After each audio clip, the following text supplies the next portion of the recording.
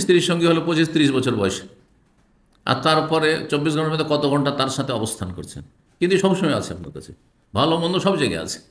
ফেরেস্তা ফেরেস্তা সবসময় আলো কাজের জন্য উৎসাহিত করে যে আপনার সাথে আমার সাথে নিযুক্ত আছে। আর জিন শয়তান সবসময় খারাপ কাজের জন্য প্ররোচিত করে।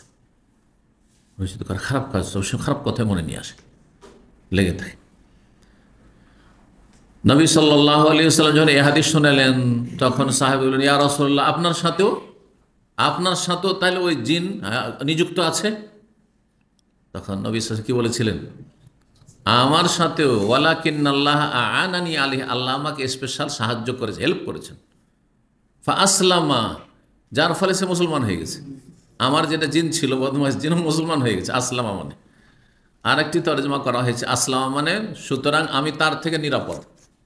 মুসলমান হয়নি, কিন্তু তার থেকে, তার অনিষ্ট থেকে আমি নিশ্চিত নিরাপদ। আল্লাহ স্পেশাল আমার প্রোটেকশনের ব্যবস্থা করেছে কিন্তু আমাদের প্রোটেকশন নেই এই জন্য ভালো ভালো মানুষ, ভালো ভালো আলিম, ভালো ভালো পরেশগার লোক আল্লাহ শৈতান অলি হয়ে যাচ্ছে একসঙ্গে কত ভ্রষ্ট হয়ে যাচ্ছে।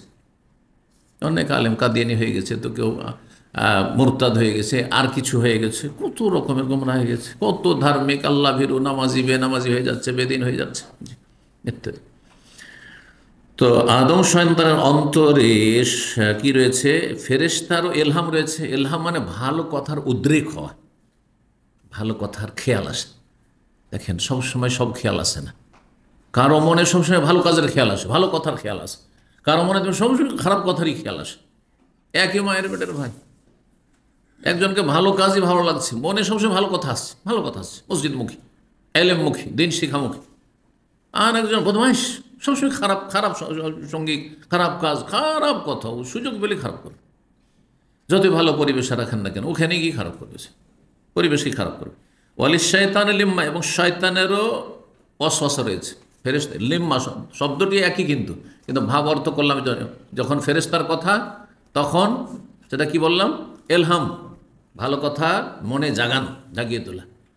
আর যখন শয়তানের কথা আসলো, তখন ওয়াসওয়াসা লিম্মা মানে এখানে। শয়তানের এলাহ না, শয়তানের ওয়াসওয়াসা কুমন্ত্রণা। শয়তান খারাপ কথা জাগায়। যে সুযোগ পাচ্ছি অসুবিধা কি? কেউ তো নাই, সব চলে গেল, যে মোবাইলটা ছেড়ে দিয়ে গেছে। নিয়ে টানবে? নিয়ে টানবে? জি। এই যে যে কোনো খারাপ কথা আসছে। এখানে নির্জনে সুযোগ পেয়েছিস, কেউ তো দেখছে না। তোর রুমে তো কেউ নাই। শুনেছিস বলু ফিল্ম তো, দেখ একটু। এই যে কথাগুলো যখনই আপনার জেগে উঠছে মনে, যে সবাই দেখে, আমি জীবনও দেখলাম না শুধু, এক সময়। ব্লু ফিল্ম মানে আমি শাব্দিক অর্থই মনে করতাম যে ব্লু মানে হয় কি? নীল। তো ফিল্মটা কি নীল হয় নাকি? সত্যি বলছি। আল্লাহ ধীরে ধীরে দুনিয়া জানলো, তখনও জানতে পারল যে পর্নোগ্রাফি নোংরা ছবি। হাউজবিল্লাহ আল্লাহ হেফাজত করুন। তো শয়তানের ওয়াসওয়াসা, কুমন্ত্রণও রয়েছে। ফালিম্মাতুল মালাক, ফেরেশতার এলহাম হচ্ছে ই আদুল খের ফেরেশতা যে কোনো পরিস্থিতিতে, আপনার অনুকূলে হোক, প্রতিকূলে ভালো মন্দ যে কোনো অবস্থায় মানুষ থাকতে পারে, কখনো সুখে, কখনো দুঃখে, সবসময় কল্যাণের প্রতিশ্রুতি। যদি অসুস্থ থাকেন, তবু যেন মনে কথা আসছে, আল্লাহ আমাকে ভালো করে দেবে আল্লাহ আমার ভালো করবে মরো মরো অবস্থা, মারাত্মক দুর্ঘটনা, আল্লাহ আমার জন্য কল্যাণ রেখেছেন। এগুলো কার পক্ষ থেকে? ফেরেসার পক্ষ থেকে। ও তাসদিক বিল হাককে, সত্য কথাকে বিশ্বাস করা। সত্যকে বিশ্বাস করে, যেখানে সত্য কথা আসবে, কোরআন মহাদিস ওয়াহির কথা আসবে, বিশ্বাস করছেন আপনি। ভালো লাগছে, এটা ফেরেস্তার এলহাম ফেরেস্তা আপনাকে সাপোর্ট করছে। ও রাজা রাজা সলেহ, সওয়াব। রাজা ও সলেহীন, রাজা উন সলেহুন, সওয়াবুন। মানে সওয়াবের ভালো আশা। সলে মানে ভালো। ভালো আশা করা কিসের নেকির? ওয়াল্লিম্মাতু শয়তান, আর শয়তানের ওয়াসওয়াসা কুমন্ত্রণা হচ্ছে ইয়াদুল বিশ্বাস মন্দের প্রতিশ্রুতি। সবসময় নেগেটিভ চিন্তা। আর বাঁচব না। অনেক মূর্খ লোককে বলতে শুনি, আমরা কাছের অনেক সময় দেখি। একটু অসুস্থ হইলে আর বাঁচবো না মনে হয়। একদিন হঠাৎ করে প্রেশার বেড়ে গেছে সুগার বেড়ে গেছে, বলছে আর বাঁচবো না। হ্যাঁ কেমন যেন একটু বুকটা ব্যথা করছে, এই হার্ট অ্যাটাক আর বাঁচবো না। শেষ। যে কোনো পরিস্থিতি শুধু খারাপ চিন্তা।